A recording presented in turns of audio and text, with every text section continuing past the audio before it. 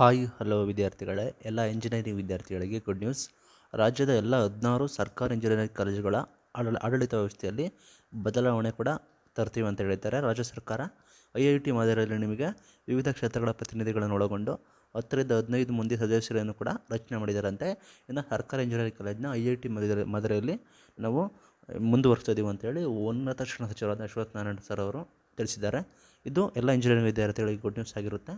ನಂತರ ಇಲ್ಲಿ ನೋಡೋದಾದರೆ ರಾಜ್ಯದಲ್ಲಿ ಉನ್ನತ ಶಿಕ್ಷಣ ವ್ಯವಸ್ಥೆಯಲ್ಲಿ ಕೈಗೊಂಡಿರುವ ಸುಧಾರಣಾ ಕ್ರಮಗಳ ಬಗ್ಗೆ ನಗರದಲ್ಲೇ ಉನ್ನತ ಶಿಕ್ಷಣ ಪರಿಷತ್ತಿನಲ್ಲಿ ಬುಧವಾರ ಆಯೋಜಿಸಿದ್ದ ಸಂವಾದದಲ್ಲಿ ಉನ್ನತ ಶಿಕ್ಷಣ ಸಚಿವರಾದ ಡಾಕ್ಟರ್ ಸಿ ಎನ್ ಅವರು ಮಾಹಿತಿ ಕೊಟ್ಟಿದ್ದಾರೆ. ಬುಧವಾರ ಅವರು ಒಂದು ಮಾಹಿತಿ ಕೊಡ್ತಾರೆ.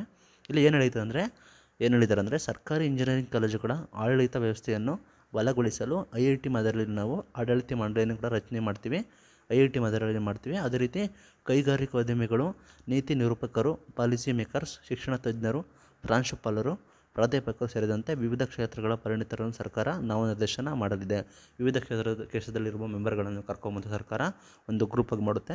ವಿದ್ಯಾರ್ಥಿಗಳು ಓದಬೇಕಾದ್ರೆ ಕೈಗಾರಿಕೆಗಳು, ತಾಂತ್ರಿಕ ಸಂಸ್ಥೆಗಳಲ್ಲಿ ಇಂಟರ್ನ್ಶಿಪ್ ಮಾಡುವುದು, ಓದು ಮುಗಿ ಮುಗಿದ ಕೂಡಲೇ ಉದ್ಯೋಗಾವಕಾಶ ಮಾಡೋದು ಎಲ್ಲ ಮಾಡ್ತೀವಿ ಅಂತ ಹೇಳಿದ್ದಾರೆ. ಇದು ಎಷ್ಟು ಮಟ್ಟಿಗೆ ಇದನ್ನು ತರ್ತಾರೆ ವ್ಯವಸ್ಥೆ ತರ್ತಾರೆ ಅಂತ ಗೊತ್ತಿಲ್ಲ. ಒಟ್ಟಾರೆ ಇದನ್ನೆಲ್ಲ ಮಾಡ್ತೀವಿ ಅಂತ ಹೇಳಿ ಶಿಕ್ಷಣ ಸಚಿವರು, ಉನ್ನತ ಶಿಕ್ಷಣ ಸಚಿವರು ಘೋಷಣೆಯನ್ನು ಕೂಡ ಮಾಡಿದ್ದಾರೆ.